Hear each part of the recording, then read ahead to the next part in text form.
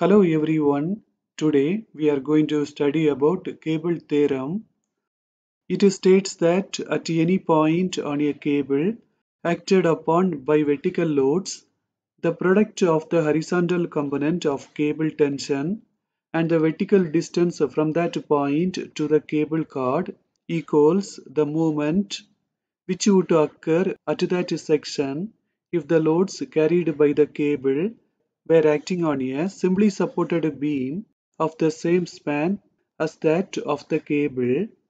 Later we can see the meaning of this cable theorem.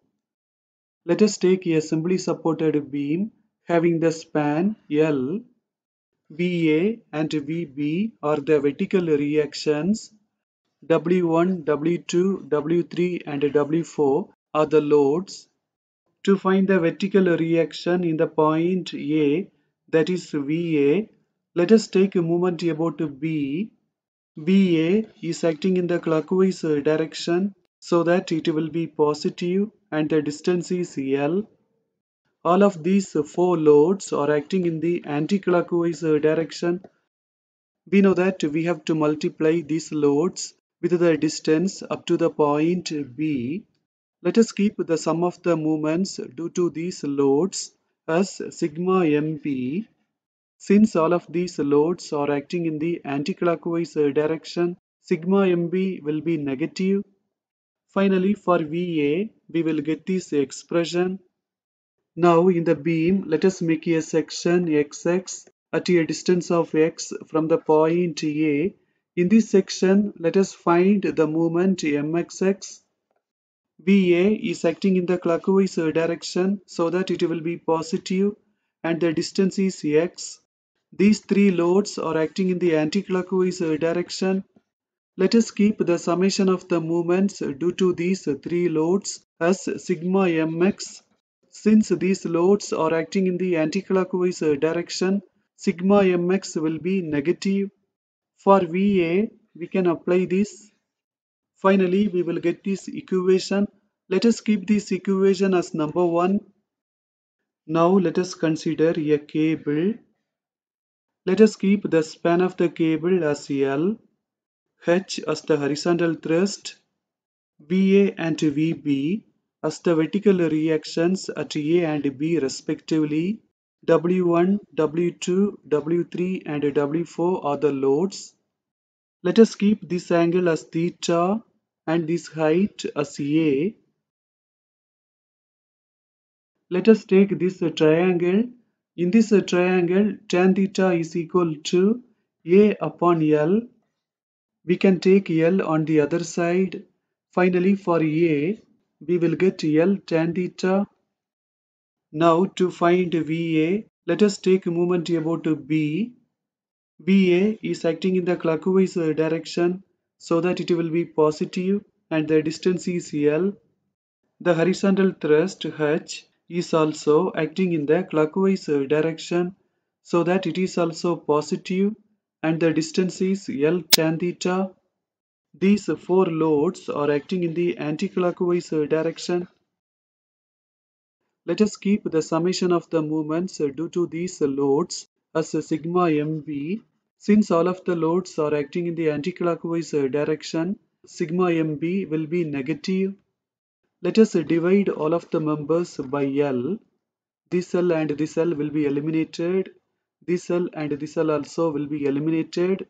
Finally, for VA, we will get this expression. Now, let us make a section at a distance of x from the point A. Let us keep this height as b let us take this triangle.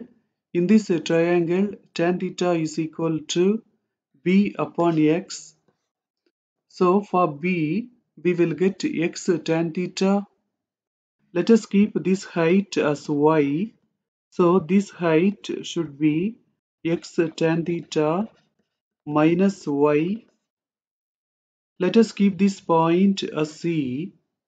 Now let us take a moment about c.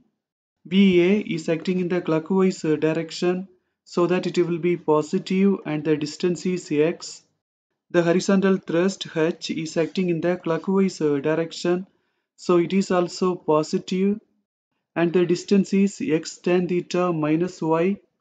These three loads are acting in the anticlockwise uh, direction.